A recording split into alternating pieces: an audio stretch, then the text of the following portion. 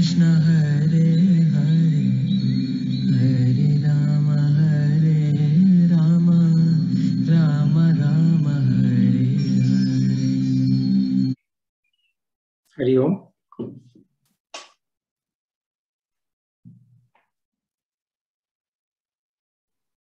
Let's start.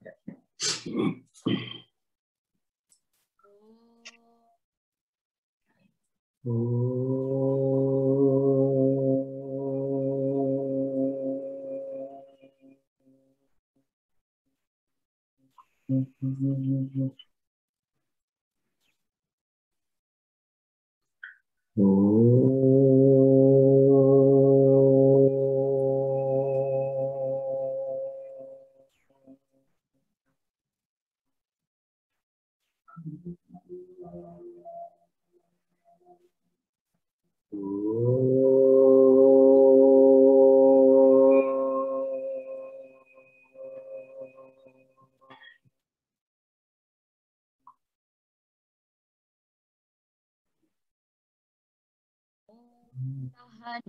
सहनाववतु सह नौ भुनक्तु, सह वीर्यङ्करवावहै, तेजस्विनावधीतमस्तु मा विद्विषावहै।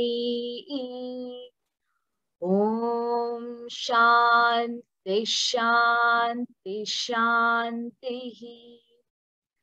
श्रीगीता ध्यानम् ॐ पार्थाय प्रतिबोधितां भगवता नारायणेन स्वयं व्यासेन ग्रथितां पुराणमुनिना मध्ये महाभारतम् अद्वैतामृतवर्षिणीं भगवतीम् अष्टादशाध्यायिनीम् अम्ब त्वामनुसन्दधामि भगवद्गीते भवद्वेषिणी।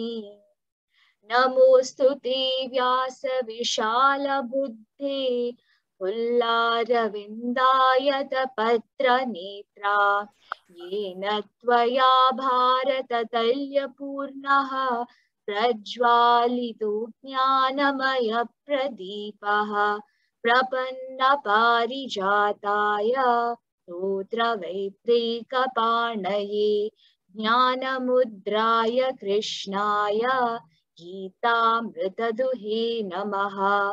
सर्वोपनिषदो गावो दुग्धा गोपालनन्दनः।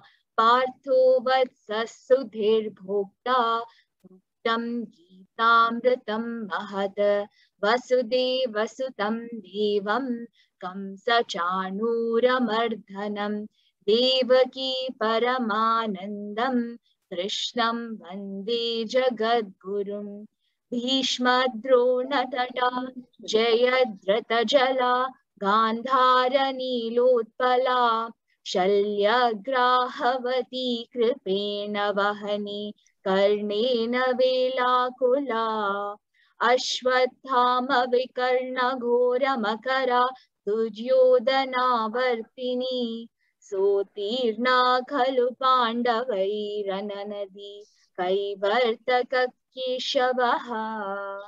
पाराशर्यवचः सरोजममलं गीतार्थगन्तोत्कटम् नानाख्यानककेसरं हरिकथा सम्बोधनाबोधितम् लोके सज्जन षट्परैरहरः पीपीयमानं मुधा भारतपङ्कजं कलिमला प्रध्वंसि न श्रेयसे। मूकं करोति वाचालं, पङ्गुं लङ्घयति गिरिं। यत्कृपातमहं वंदे परमानन्दमाधवम्।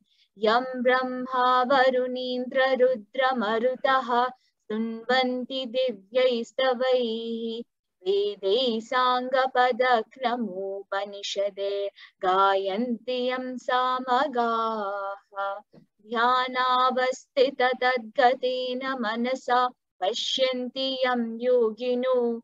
यस्यान्तं न विदुः सुरासुरगणा देवाय तस्मै नमः देवाय तस्मै नमः देवाय तस्मै नमः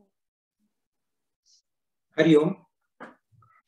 So there are uh, four types of people who give well-meaning good advice, whether it is asked for or not, even unsolicited, keeping the welfare of the recipient in mind. The first of these is mother. For example, Kausalya to Bharata. Then the son, like Angad to Vali. And brother, like Uddhava to Krishna. And even if the recipient is not interested, not willing to pay heed to the advice, even in that case, or actually goes against the advice, tells the person not to give the advice, and so on and so forth, even then they give because they are seeking the welfare of the recipient. For example, like mother, Sita to Ravana, son like Prahlada to Hiranyakashpu, and brother like Vibhishna to Ravana. And the fourth is, of course, a friend. And what better example than Sri Krishna to Arjuna? And Sri Krishna says, Bhuya eva mahabaho shrinume paramam vachaha. I will tell you again, O Arjuna, please listen. Arjuna did not ask Bhagwan to repeat, to elaborate. Bhagwan Sri Krishna does it on his own, keeping Arjuna's welfare in mind. Hita kamyaya, for your hita, with your hita in as my wish. Hita kamyaya. And he says, one who knows that all of origination, sustenance, and activity, all of that depend on me and my glorious, auspicious attributes, the etam vibhuti. Such a person becomes steadfast in the yoga of bhakti. And that yoga of bhakti is unshakable, tremorless in nature. So vikampena yogena yujyate. Tremorless, unshakable yoga. Kampa is movement. Vikampa is shaky. Avikampa is no movement, unshakable. And such a person is called a Buddha, the wise. And that kind of a wise person, bhajante mam bhava sammanvitaha, worships me endowed with devotion. In this situation, the devotee, the bhakta, knows, loves, and abides. You know, you love, and you abide with their minds wholly in me, mat chittaha, with their lives absorbed in my devotion, mat gata pranaha, mutually enlightening each other together in groups, bodhayanta parasparam, and in this manner contented and blissful, tushyanticha ramanticha. The reverberating contentment, the echo of contentment, when contentment is there and it keeps echoing in the mind, that is bliss.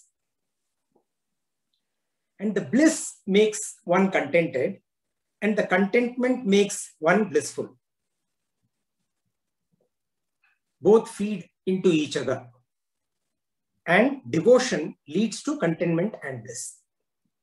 To such people, what assurance does Bhagwan provide that we will see in the next verse? Tesham satatayuktanam Tesham satatayuktanam Bhajatam priti purvakam. Bhajatam priti purvakam. ददामि बुद्धियोगं तं ददामि बुद्धियोगं तं येन मामुपयान्ति ते। येन मामुपयान्ति ते। तेषां सततयुक्तानां भजतां प्रीतिपूर्वकं ददामि बुद्धियोगं तं येन मामुपयान्ति ते। Tesham, to them, Satata Yuktanam, who are ever steadfast, Bhajatam, worshipping, Preeti Purvakam, full of love. Like Bhagwan said, Arjuna, you take delight in my teaching. That kind of Preeti Purvakam, full of love. Dadami, I give. Tam, that. Buddhi Yogam, the yoga of discrimination. Yena, by which they, they, they, that is, these people, these people who are ever steadfast. Mam upayantite, they come to me. Upayanti come, mam to me. To them who are ever steadfast, worshipping me with love, I give them this yoga of discrimination, the Buddhi Yoga, by which they come to me. To them, those who are ever contented, ever blissful in his devotion, he gives this power of discrimination, this perfection in comprehension, that mind intellect disposition. See, we see this all the time in our practice, you know, whether it is a dedicated surgeon, whether it is a sincere player of an instrument, a student, a sportsman, whoever it may be, when there is tremendous involvement, bhakti, to the extent of bhakti, in whatever vocation that they are practicing, that time you get that power of discrimination. You get that perfection and comprehension. The better and better and better you become. That intellect and mind disposition, that mental disposition. And in this, those who are worshipping him with love, in this manner, getting better and better, they reach me. The grant of this kind of a vision by Bhagavan is termed Samyak Darshana. God is very close to all, all of his creations, and especially close to his devotees. The glory of Bhagavan begins to dawn on the mind of the one who is devotedly and persistently practicing Bhakti Yoga. And that devotion and persistence enable greater cognition of Bhagavan's various manifestations, the glorious manifestations, his vibhuti.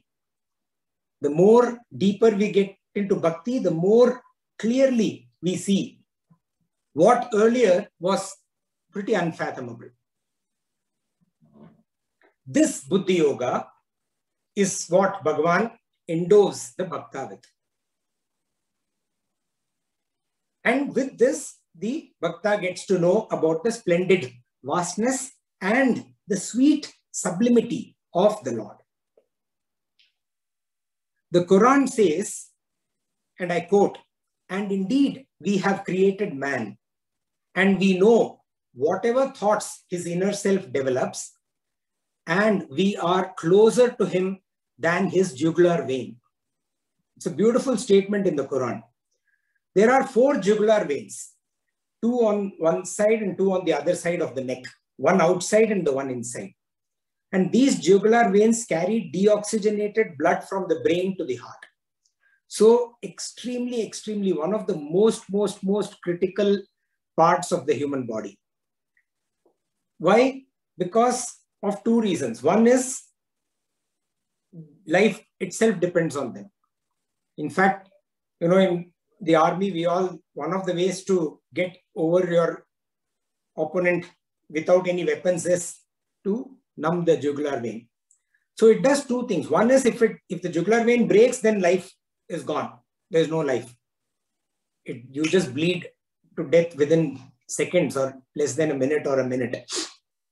And if it is disabled, then the deoxygenated supply from the brain to the heart is impaired, which means the brain is filled with less of oxygen. And that means that it's going to affect or harm the cl clarity in thinking process of the individual. See, this discrimination which resides in the intellect, which resides scientifically in the brain, is what separates human beings from other elements of creation. Without that discrimination, human being will be like any other animal or plant or whatever. So, thus it may be interpreted that the Quran is saying that one, Allah is even more dearer than life to us. Two, by the comparison of the jugular vein. And two, that faith is closely intertwined with rational thought. It is not as if faith and rational thought are on some different directions.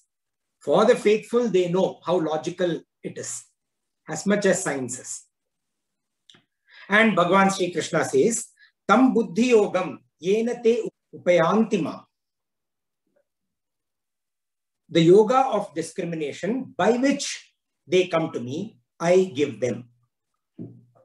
And what does the Lord provide the devotee, provide for the devotee through this buddhi yoga? That we'll see in the next verse. तेषामेवानुकम्पार्थम्। तेषामेवानुकम्पार्थम्। अहमज्ञानजं तमः। अहमज्ञानजं तमः। नाशयाम्यात्मभावस्तः नाशयाम्यात्मभावस्तः ज्ञानदीपेन भास्वत। ज्ञानदीपेन भास्वता तेषामेवानुकम्पार्थम् अहमज्ञानजं तमः नाशयाम्यात्मभावस्तः ज्ञानदीपेन भास्वता तेषाम् एव for them alone tesham for them eva alone for them alone for who the matchitta matgata prana those who are fully always thinking about me and whose lives are absorbed in my devotion.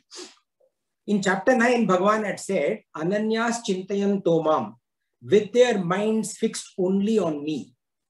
And for those kind of people yoga kshemam vahamyaham i secure them their prosperity and their welfare here he is saying matchitta madgata prana for those people i give them the buddhi yoga the knowledge and why does he do that firstly anukam partham out of compassion I give this to them out of compassion. Atma bhavastaha. Atma bhavastaha, dwelling within their hearts. So Bhagavan sees these minds, these people, these devotees, wholly absorbed in him, their minds wholly absorbed in him, and their lives are completely devoted to him. And this fills him with deep compassion. And he actually goes and lodges himself into their hearts, becomes firmly, firmly embedded in their hearts, in their very core, and becoming their very own nature as part of their soul. And seated there, Bhagavan says, seated in their hearts, aham nashayami. I destroy agyana jam tamaha, the darkness that is born out of ignorance. Jnana deepena bhasvata, by the luminous lamp of knowledge. Jnana Deepena, that luminous lamp of knowledge. It is said that in the path of Jnana Yoga, you hold on to God like a baby monkey holds on, holds on to his mother, while the mother monkey is jumping, going about its business, jumping around. If you see the baby monkey will be tightly clutching onto the mother baby monkey is called the Markata. And in Bhakti Yoga, in the path of Bhakti Yoga, Bhagwan holds on to the Bhakta. Like you see a cat mother holding on to the kitten with her mouth. Cat mother is called Marjara. So how beautiful comparison, you know, in terms of how Bhagwan, you hold on to Bhagwan and the Bhagwan holds on to you. A real life incident involving Namdev Maharaj and Vishobha Kesher that teaches us about the knowledge of Bhagwan as animate and inanimate. And being devoted and worshipping him as such in the animated form and inanimate form. So Sant Namdev was a very big devotee of Lord Vitthal. And such a big devotee he was, so devoted, extremely devoted to him that he actually used to converse, make daily normal, like we all converse, he, he would converse with Bhagwan and Bhagwan would reply. Vithala would reply back to Namdev. And he was also extremely attached to the temple where his Vitthal Baba was. Other sons and other people used to make fun of this, that you are attached to one temple. So one day, Sant Namdev complained to Vithala. He said, what is this, Bhagwan? You know, everybody is making fun of me because I'm attached to your, your temple.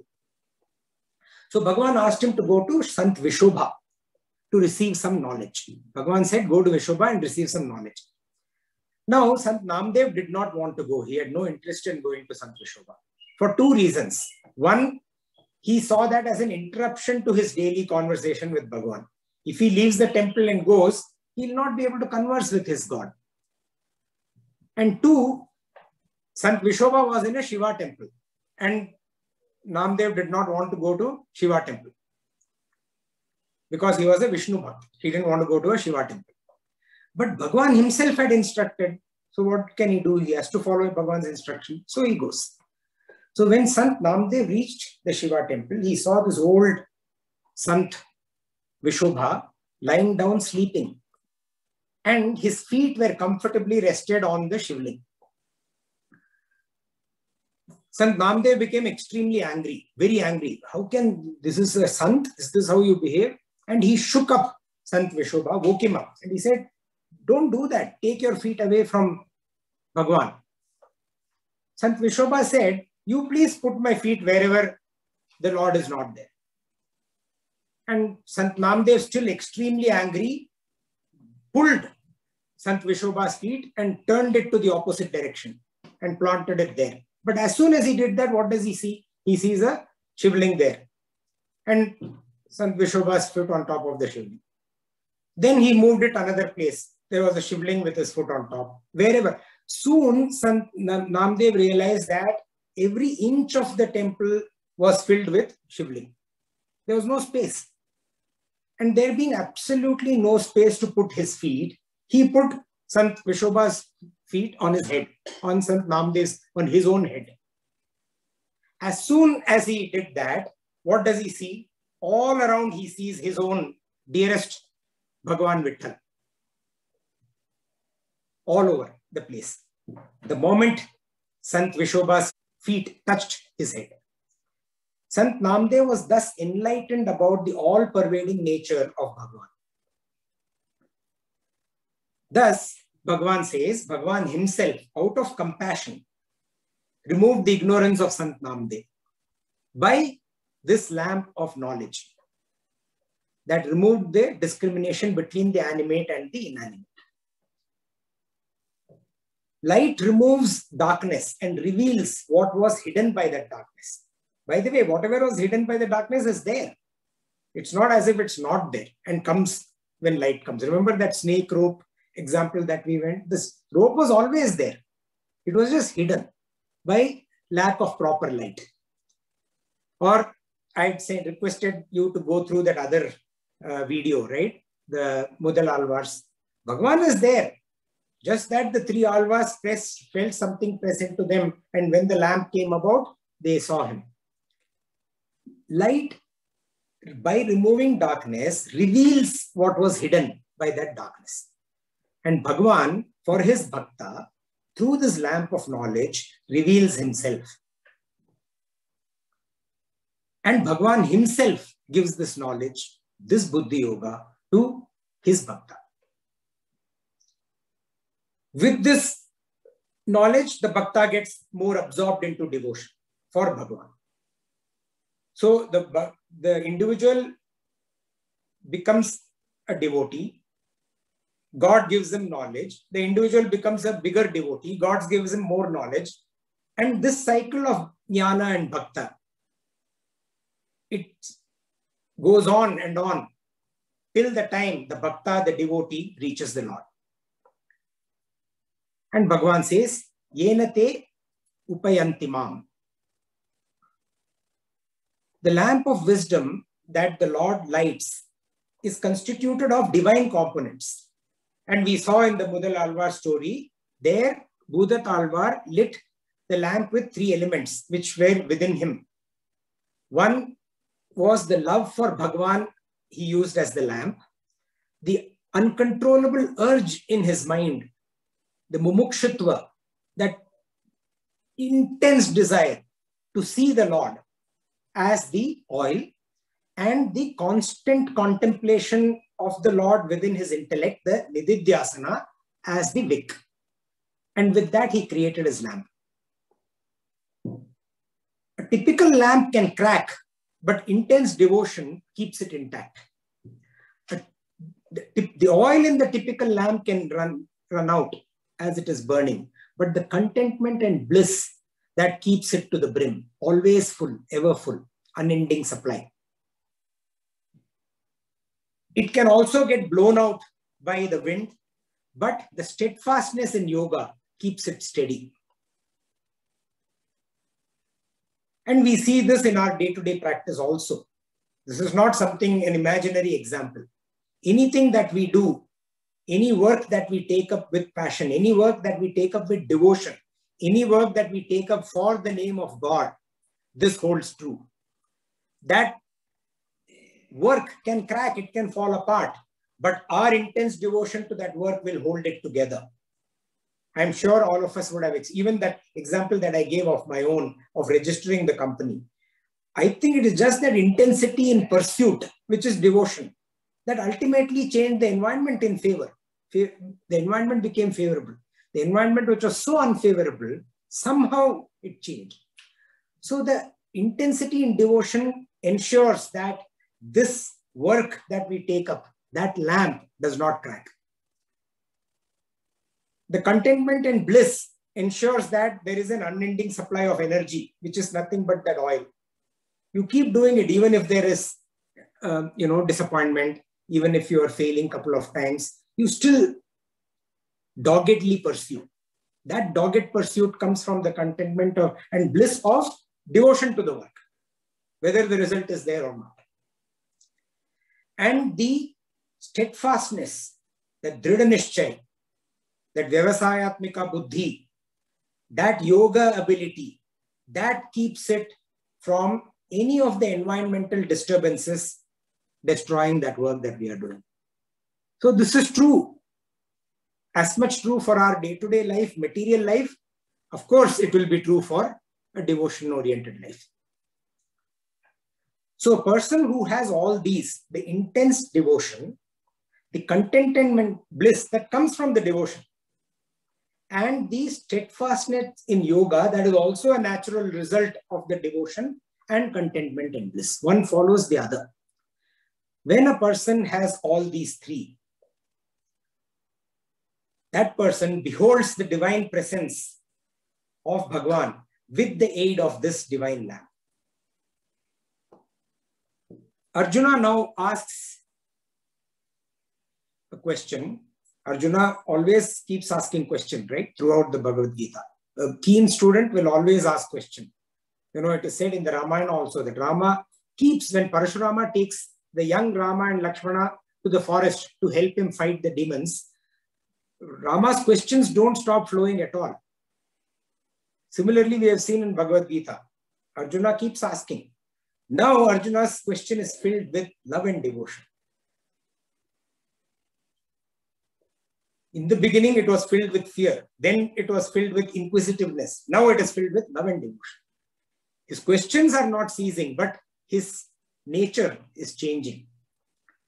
And before he asks his question, he actually recounts his understanding of the divine manifestations of Bhagwan. That we'll see in the verses 12 and 13. We'll read them together. Arjun उवाच अर्जुन उवाच परं ब्रह्म परं धाम परं ब्रह्म परं धाम पवित्रं परमं भवान् पवित्रं परमं भवान् पुरुषं शाश्वतं दिव्यम् पुरुषं शाश्वतं दिव्यम्। आदिदेवमजं विभुम्। आदिदेवमजं विभुम्। आहुस्त्वां ऋषयः सर्वे। आहुस्त्वां ऋषयः सर्वे। देवर्षिर्नारदस्तथा। देवर्षिर्नारदस्तथा। असितो देवलो व्यासः। असितो देवलो व्यासः। स्वयं चैव ब्रवीषि मे।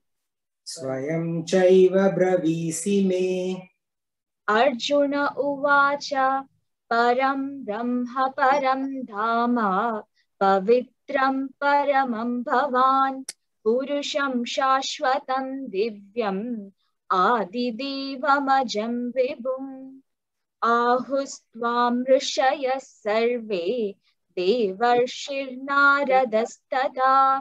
असितो देवलो व्यासः, स्वयं चैव ब्रवीषिमे भवान भवान you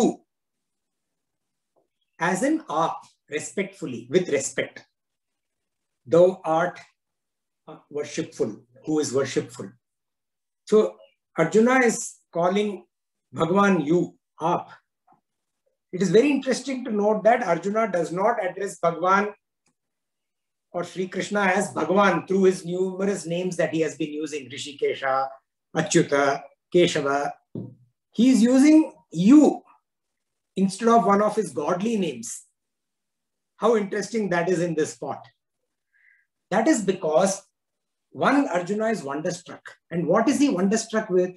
With his realization of what is para and what is apara. And he's seeing this individual standing in front of me, this friend of mine, this person, this person with eyes, ear, nose, head, hands, legs. This person is Bhagwan. That realization. And he's wonderstruck. And he says, Parabrahma. Parabrahma, the supreme Brahman. The Nirguna, the Nirupadika, the one that is free of all conditioning. And he says Param Dhama. Param Dhama, the supreme abode. You are Param Brahma, you are Param Dhama. The substratum for all the animate and the inanimate, for all the manifest and the unmanifest, there is one substratum. And that abode, that Dhama.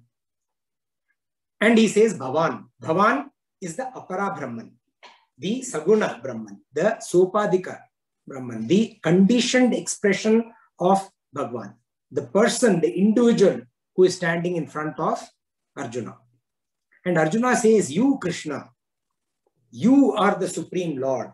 You are the supreme abode. I realize that both of you are the same. How beautiful that is. And then he eloquents now on Bhagwan. He says, Pavitram Paramam. You are the purest of the pure, the holiest of the holy. Purusham Shashvatam Divyam. You are the eternal Purusha, the divine Purusha. Adi Devam Ajam Vibhum. The first God, the unborn, the omnipresent. In this, and then he says, in this manner, the Devarshish, like Asita, Devala, Vyasa, uh, Narada, all of these people, the rishis, the Devarishis, have glorified you, O Bhagwan. Ahustvam. Ahustvam means glorified you. Now, these rishis, it's also another interesting point to note. He is not quoting any Upanishad expert, a seer of the Upanishad, because Upanishad experts are supposed to be authoritative. They have received the knowledge and they are transmitting and sharing it with their students. They are, they are considered authorities. These are rishis of the Puranas. All these, Asita, Devala, um, Vyasa, Narada, they are all Purana rishi, the rishis that come in the Purana. So what Arjuna is trying to say, of course, the Upanishad rishis have, you know, um, uh, worshipped you in this manner.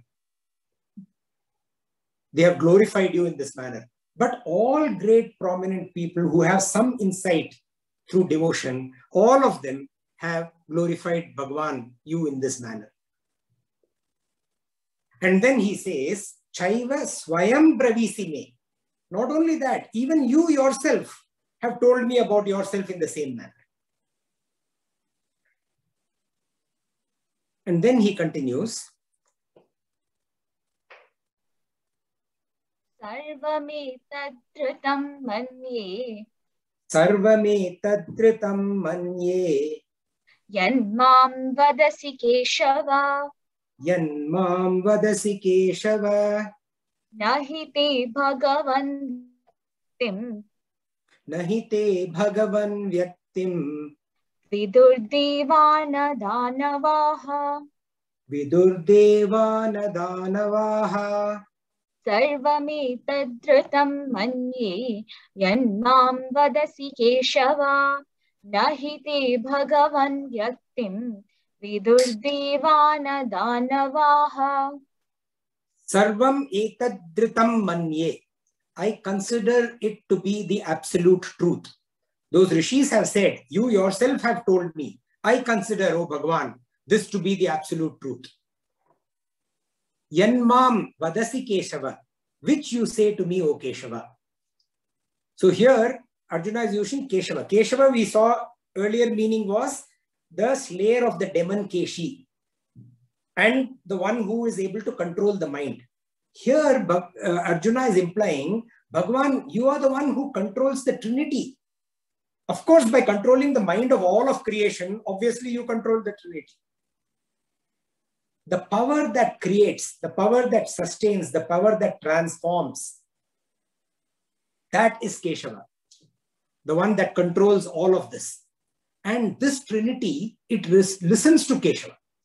So, and Arjuna is saying, of course, I'm listening to you. I, I agree with you. I believe you. I trust this is true. I completely know that this is the absolute truth. So he is a, he is proclaiming himself as a true believer, as a full believer. And he says, Bhagavan Vyaktim. Bhagavan Vyaktim. This person, Bhagavan, Bhagavan's manifestation. We saw this earlier also. Bhagavan is one who fully manifests in six divine qualities in those terms. Aishwarya, which is lordship or omnipotence. Dharma, virtue, nobility, righteousness. Yashas, glory. Sri, wealth, beauty. Vairagya, dispassion, non-attachment. And moksha, moksha, liberation, never bound, without any bind, unbound. And Arjuna says, what to speak of humans, O Bhagwan? Nahite vidur deva na danavaha. This is surely not even known to the devas, the gods, or the danavas, the demons. Sri Ramakrishna Paramahamsa has said, and I quote, the sun is immensely greater than the planet Earth. But because of the distance, it appears as a very small disk. Ishvara's attributes are infinite, but we know very little of him because of our ignorance, unquote. And this is what Bhagavan says I'll give you the Buddhi Yoga to remove the ignorance. So, who then really knows Bhagavan? So, Arjuna is saying here that even the devas nor the demons, nobody knows you. Forget about people. Who then really knows Bhagavan? Arjuna continues in the next verse. स्वयमेवात्मनात्मानं स्वयमेवात्मनात्मानम् वेतत्वं पुरुषोत्तम। वेतत्त्वम् पुरुषोत्तम। भूतभावनभूतेश। देवदेव जगत्पते देवदेव जगत्पते स्वयमेवात्मनात्मानम् श्वेतत्वं भूत भावना भूतेश देवदेव जगत्पते Purushottama O Purushottama O supreme being individuals normal individuals are called पुरुषास.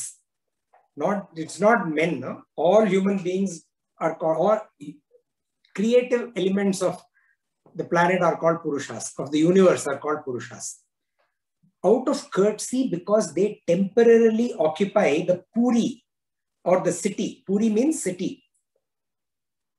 Puri is the term for city, town. So they occupy the Puri of what?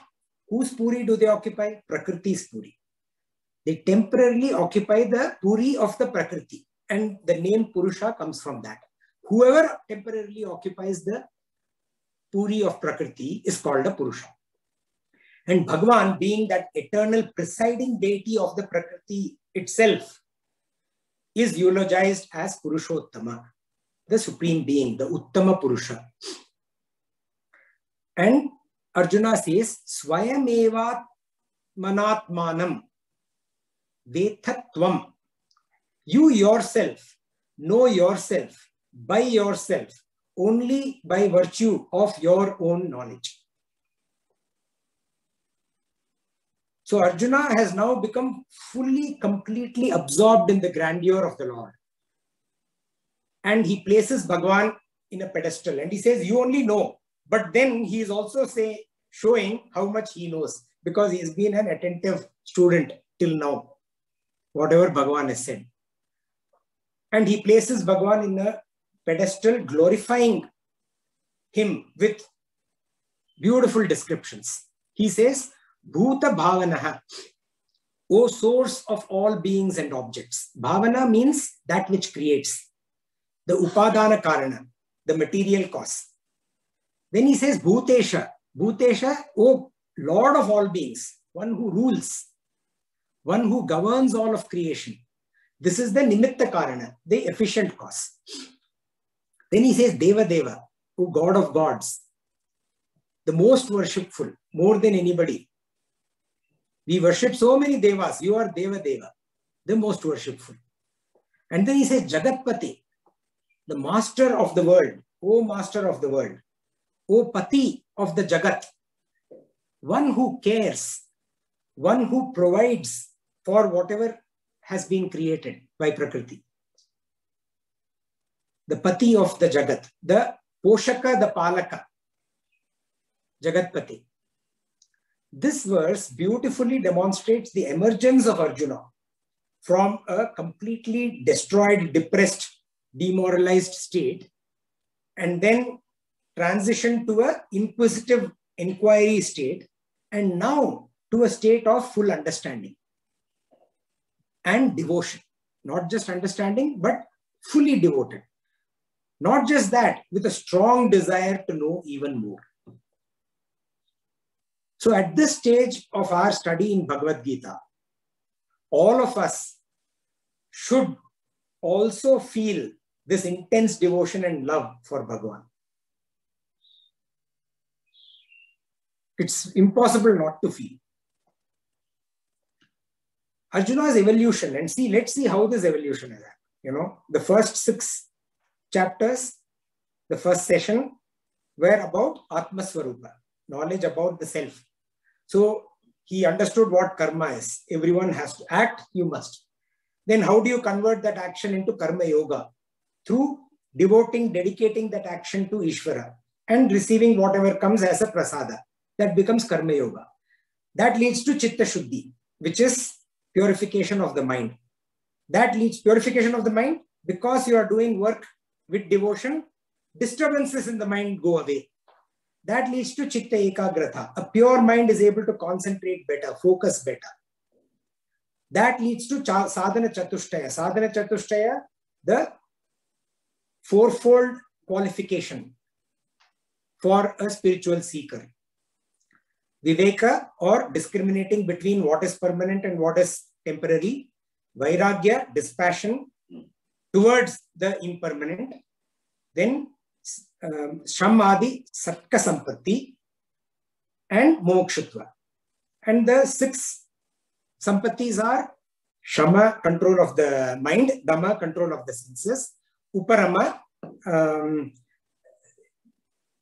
being able to handle distractions, titiksha, the forbearance to bear with whatever you cannot, the distraction that you cannot take away, shraddha, devotion, and samadhana, focus or concentration. And finally, mumukshutva, that intense desire only for that Bhagwan, knowing that Bhagwan, that Buddhi Yoga, that intense desire for the Buddhi Yoga that Bhagwan is giving. So all this he came and then Shravana Manana Nididhyasana, listening to the glories of the Lord, engaging, meditating, and then becoming a Yoga Ruda, being established in this kind of a pursuit. And thus being established, being able to do dhyana. And thereby getting a full comprehensive knowledge of one's own self. Atma Swarupa. And then further, through the understanding of the Saguna, the Sopadika, and the Nirguna, the Nirupadika, and thereby getting the knowledge of Bhagavan, the Ishvara Swarupa. All this he has gone this through this evolution process, which all of us should also go through. And having been an excellent student of the Vedas, even before Bhagavan is giving him, bestowing him with this Bhagavad Gita, even as a student, even as a young prince, you know, excellent student of the Vedas, he realizes that there is a lot more that needs to be learned, lot more to be known still, even after all of this. And additionally, realizing that the supreme compassion of Bhagwan is on him. He being a devotee is being showered upon him. And then realizing that Bhagwan himself is standing in front of him. This Vyakti is Bhagwan. Realizing that also all of this, knowing all of this, completely fully understanding, Arjuna showers this Sri Krishna with all these glories and then he requests Bhagwan. He places his request. That we will see now. Vaktumarhasya sheshena Vaktumarhasya sheshena Divyahyatma vibhutayaha दिव्या ह्यात्मविभूतयः याभिर्विभूतिभिर्लोकान्। याभिर्विभूतिभिर्लोकान्। इमां त्वं व्याप्य तिष्ठसि। इमां स्वं व्याप्य तिष्ठसि।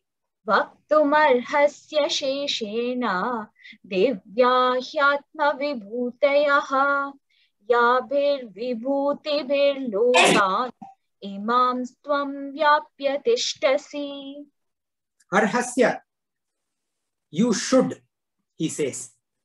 He indeed, again we are jumbling with the words, you know, to convert poetry into prose. He indeed, Seshena, without reserve, he is telling Bhagwan, without reserve.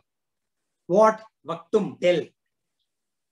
Tell what? Vibhutayaha, your own glorious manifestation. Atma Vibhutayaha, your own glorious manifestations which are divya, divine, divine.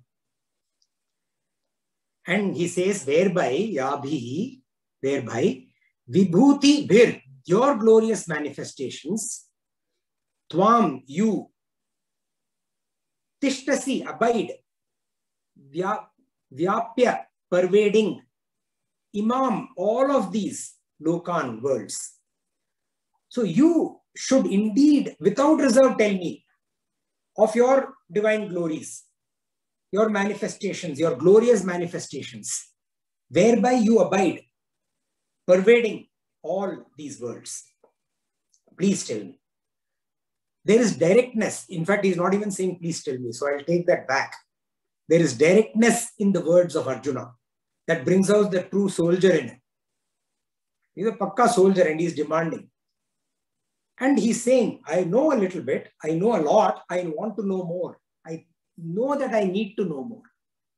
Pujya Gurudev Swami Chinmayananda ji said, and I quote, when a building is illuminated on a ceremonial, this is a beautiful example. I love this example. When a building is illuminated on a ceremonial occasion, we see many points of lights emanating from the innumerable colored bulbs of varying intensity. But when we are told that the source of the lighting of this bulb, the source by which they are sustained, the source by which they are fed so that they are glowing, is the same electricity. It is quite normal to think that the ignorant people, those who do not know, they demand to see the electricity which supplies to each and every single bulb. They are ignorant that it is the same one, one electricity.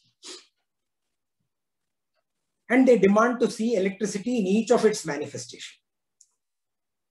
Now we believe in electricity because we have faith in our science books. You know, like we have not done electricity yoga, right? Remember electricity yoga? The only way to experience electricity is to remove the bulb, put your finger inside that connection and switch on the light. And then you feel that 240, whatever it is, 420 volts or 240 volts or whatever, right? The 240 volt, that jhatka. That is the only way one can experience. Who, how many of us have experienced electricity? We believe in electricity because we have faith in our science books. Not only that, that science book, what it writes, what it is said there, it appeals to our logic, our intellect. What appeals to our intellect, what appeals to our logic, where we can draw logical conclusions, that is why we believe in this. Similarly, one with faith and devotion to Bhagavan, that person can feel his glorious manifestations as well as his unconditioned expressions. All of it.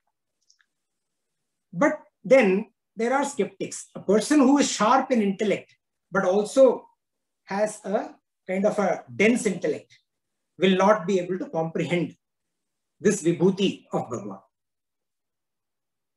But the logic is the same. As much as a dense intellect person cannot comprehend science or mathematics, a dense intellect person cannot comprehend the vibhutis of Bhagavan It takes effort to learn. And that is what we are doing. We are taking, making that effort to learn. Is it mere intellectual curiosity then that Arjuna is, you know, feeling and because of which he's asking this question? We'll see that in the next verse. कथं विद्यामहं योगिं कथं विद्यामहं योगिन् त्वां सदा परिचिन्तयन्। त्वां सदा परिचिन्तयन्। केषु केषु च भावेषु। केषु केषु च भावेषु। चिन्त्योऽसि भगवन्मया। चिन्त्योऽसि भगवन्मया। कथं विद्यामहं योगिं। त्वां सदा परिचिन्तयन्। केशु केशु च भावेषु। चिन्त्योऽसि भगवन्मया। कथम हाउ अहम आई विद्याम शैल नो। त्वाम यू। सदा ऑलवेज परिचिंतयन मेडिटेटिंग ओ योगिन। केशु केशु च। In what and what भावेशु aspects chintyosi are you to be thought of Maya by me, Bhagavan, O blessed Lord. How shall I, ever meditating, know you, O Yogin?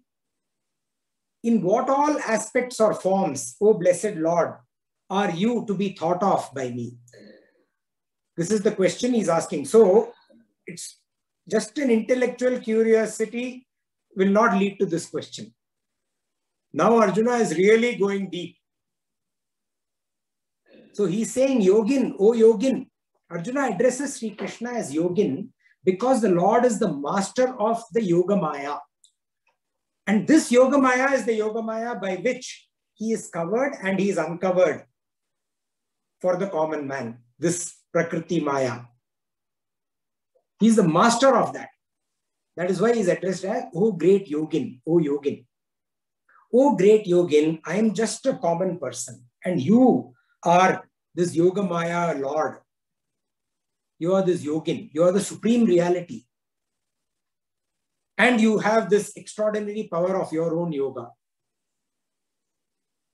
In Hanuman Chalisa, in Sri Hanuman Chalisa, Sant Tulsidas ji says, Buddhihina tanu janike sumiro pavana kumara balabuddhi vidya dehu mohi harahu kalesha vikara.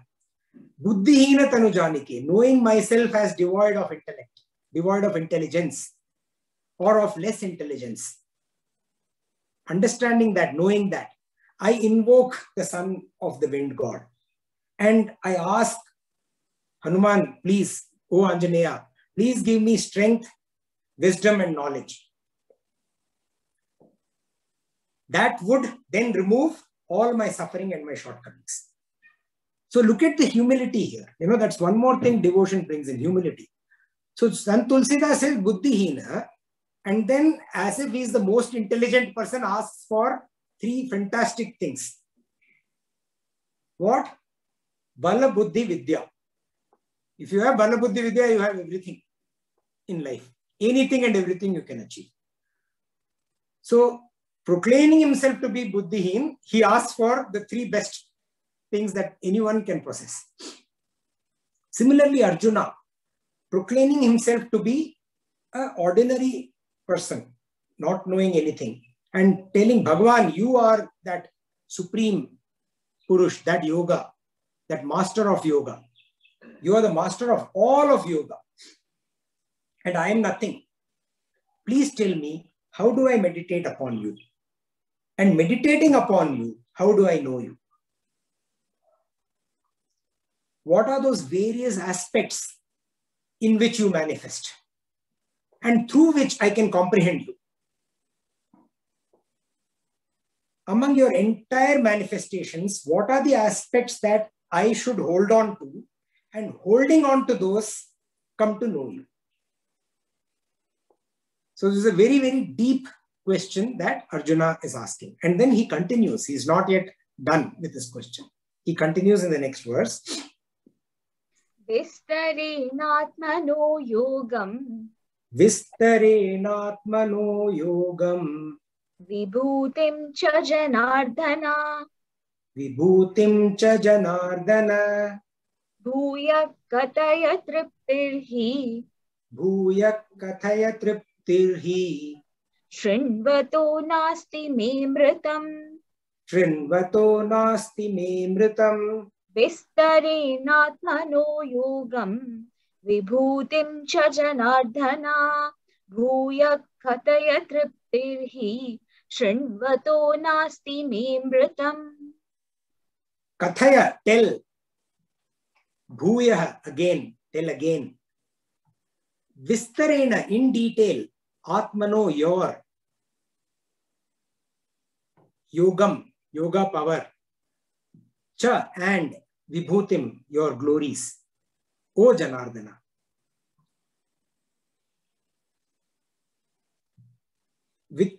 Because why may I नास्ती I am not तृप्तिर् contented शृण्वतो hearing मृतम these nectarine words that nectar filled words of you, yours tell me again in detail o janardana of your yoga power and your omnipresent glory your unending glories.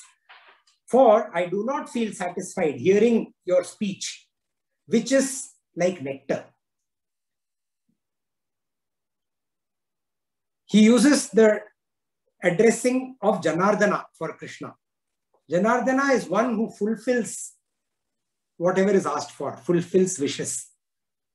So these are big wishes that Arjuna is expressing. This formed the foundation for the next one and a half chapters where we will get to know Bhagavan will show his Swarupa. This is the question that leads to all of that. It's beautiful. O Janardana, there is no satiation, there is no tripti in listening to your life giving speech. See, Arjuna was in a completely gone, he was gone, almost dead, or at least he was willing to give up his life. depressed, dejected. For Arjuna, listening to Krishna till now has been entirely life giving. That is why he uses Amrit. Your words are filled, they are life giving for me. Now Arjuna is full of life. Hence, he feels this Bhagwan speech is like nectar. And whatever you are saying, Bhagwan, is purely exhilarating. And however much I listen, I want to listen more. I'm not satisfied. This who, who can get satisfied with nectar? You give nectar, I want more of it. So you please tell me more. Therefore, please tell me again and in detail. Bhagwan had actually started this chapter, Bhuya Eva Mahabaho. I will tell you again. Now Arjuna is asking Bhagwan, Bhuya Kathaya. Please tell again. See, look at the synchrony between the teacher and the student. There is perfect consonance between Sri Krishna, the Bhagwan, and Arjuna, the student, the Jiva, the teacher and the student. This is the consonance that we all pray for in the beginning. Om Sahana Vavatu Sahanau Bhunaktu Sahaviryam Karavavahai Tejasvinavaditamastu Ma Vidvishavahai Om Shanti Shanti Shanti.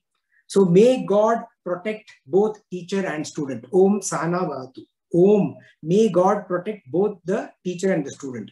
Sahanau Bhunaktu. May he nourish us both with knowledge. Sahaviryam Karavavahe. May we work together with great energy. Tejasvina Vatita May our studies be enlightening to each other, to all. all. Ma Vidvishavahaihi. May we not have any dissonance. Om Shanti Shanti Shantihi. Om peace, peace, peace.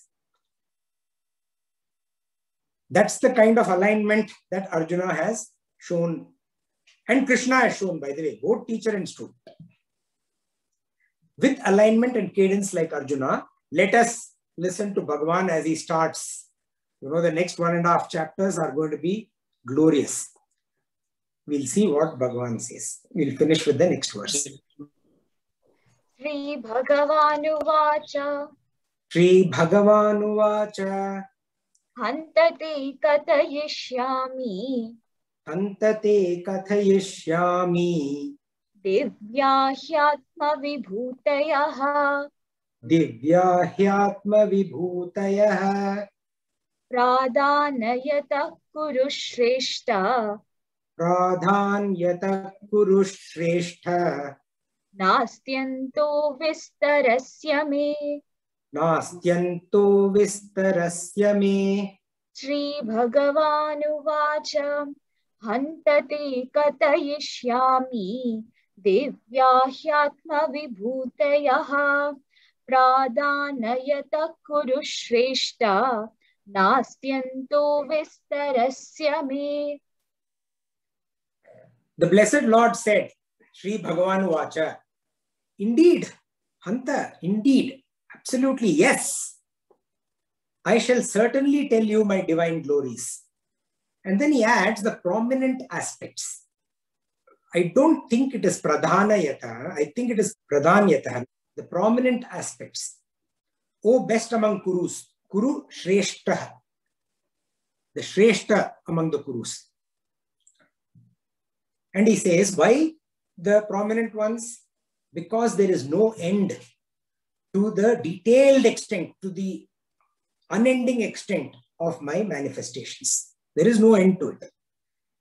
So splendors in nature, you know, whatever we see around us, they are all surely attributes of Bhagavan. There's no doubt about that. And these are indeed endless.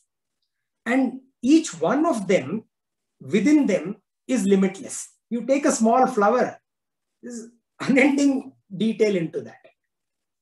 You take a whiff of cloud, there is unending detail. There are infinite expressions, and each one of them is limitless. And Bhagwan will speak about his vibhutis in such a manner, his glorious infinitude in such a manner that we would be able to infer that, all of these, from wherever we see, whatever we see. That is how he will start explaining. and then taken aback by that, filled with, you know, bliss with just listening to it, Arjuna actually says, now show me. That will come in the next chapter anyway. we will see what Bhagavan has to share in the next satsang. Thank you. Hari Om. We'll repeat the verses we did today, 10 to uh, 19.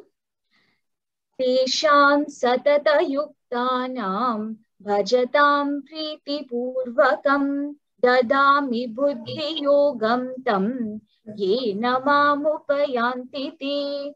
तेषामेवानुकम्पार्थम् अहमज्ञानजं तमः। ज्ञानदीपेन भास्वता। अर्जुन उवाच, परं ब्रह्म परं धाम पवित्रं परमं भवान्। पुरुषं शाश्वतं दिव्यम् आदिदेवमजं विभुम्। आहु त्वां ऋषयः सर्वे देवर्षिर्नारदस्तथा। असितो देवलो व्यासः स्वयं चैव ब्रवीषिमि।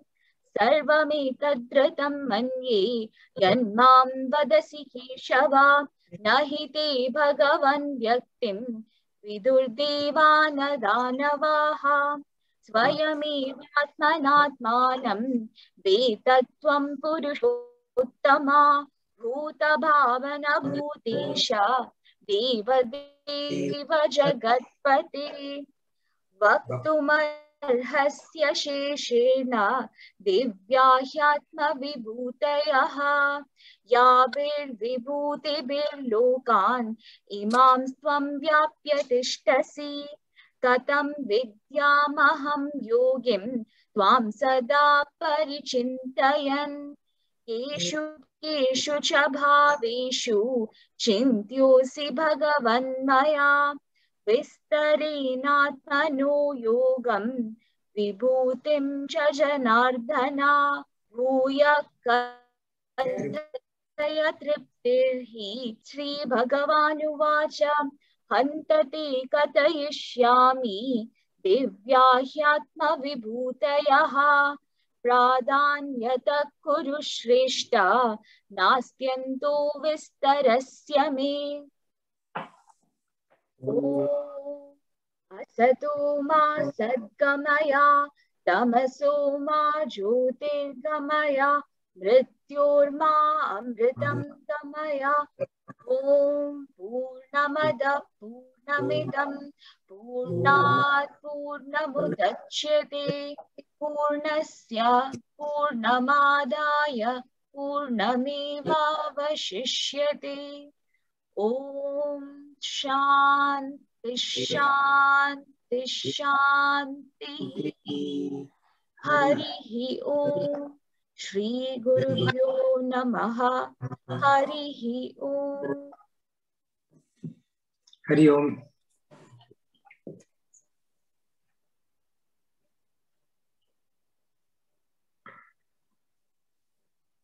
Any thoughts, comments, questions? Can I ask, can you hear me?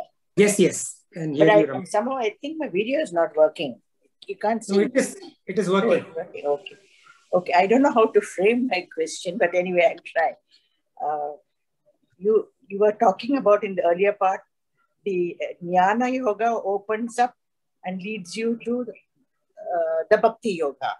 So is it only after after the bhakti yoga you get enlightenment, or and also with karma yoga you're doing your duties without any expectations and you're um, without any expectation of the fruit, and you're a real, you're very genuine in your karmas, whatever you're doing. And is it possible? Is it are there steps? Karma yoga leads you to jnana yoga, and then jnana yoga leads you to bhakti yoga, and then only you get your uh, enlightenment, or is it on, even when you're doing your in your karma yoga stage itself, you're able to get uh, your enlightenment? Am I able to express myself? I don't know. Yeah, yeah, you have absolutely. In fact, if you go back, um, Bhagwan actually says that through Karma Yoga itself, you can get uh, enlightenment. But what he means by that is that when we do what is karma yoga karma yoga is nothing but de- devoting your actions to bhagwan how will you devote your actions to bhagwan without being devoted how will you do devote your actions to bhagwan without being devoted without the knowledge of what you are doing and what devotion is? So actually that is why i said it's a cycle. One leads to the other. So when you for, to do karma yoga you need bhakti. To do to have bhakti you need um, uh, jnana uh, and yeah and the other way around. You know it's a cycle that works uh, that so each one of them feeds into the other and each one of them leads to the other So they're interconnected. and it depends on which state we are in. So if we have got out of our karma state you know where we have to do day to day duties then of course we can focus and give more time on jnana and bhakti. But if we are, have very much a householder having lots of duties like arjuna is told that you have to fight this war. There is no choice. You have to you know complete your karma yoga here but that doesn't mean that he is not devoted right so yeah So it is all tightly uh, coupled if i may But you use- can't if you're a if you have your duties, your karma which you're supposed to do, and you're born into that karma. Supposing you say, okay, I don't want to do it, and I just leave the my responsibilities and uh, go somewhere in the Himalayas and sit down. Will that be uh, blessed by the Lord, or is it? Uh, That's exactly what Arjuna said, no? Arjuna Yeah. said, "Ah, uh, first he said, take me my chariot. to That's the middle exactly. of the Madhya." Then he says, take me out of the middle of the battlefield. I don't want to fight. So Arjuna, exactly that is the state he was in where he did not want to do his duty. No, Lord does not support that. thank you. One has to do the duty. hey, Bindu. Yeah, hi, Srini. Uh, so uh, just a minor question. I don't even know whether it's valid. This para and the apara uh, forms are they uh, equated with the uh, saguna, uh, shaguna, and the nirguna uh, form of the Brahman? Is it the That's same? Like, Yes. the- yes. They are all different terms. Okay, okay, okay. The okay, conditioned expression and the expressionless. Okay, fine.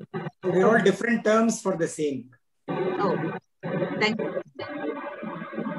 I, I- I had one question. Uh, I want uh, to understand the relevance of the word vibhuti. It's. It's used in uh, text 18 in it's vibhutim, and then in text 19 as vibhutaya.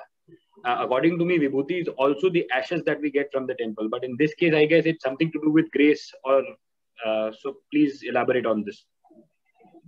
So did we, uh, did you attend the last two sessions? Last session, yes, I I may, may have missed the part where you had explained because So, there was a network. Vibhuti is nothing but um, the glorious, unlimited manifestations of Bhagwan. Vi Bhuti. Vi is Vividham. Bhuti is expressions. The glorious, unlimited um, or V is also Vishesha. Vishesha, glorious, Vividham, multiple, multitude. Bhutihi, expressions of Bhagwan. So this Nirguna, when Nirguna chooses to express in this world of Prakriti, that multitude of glorious expressions of Bhagwan is termed as Vibhuti. Vibhuti. Yeah, makes sense. Thank you so much.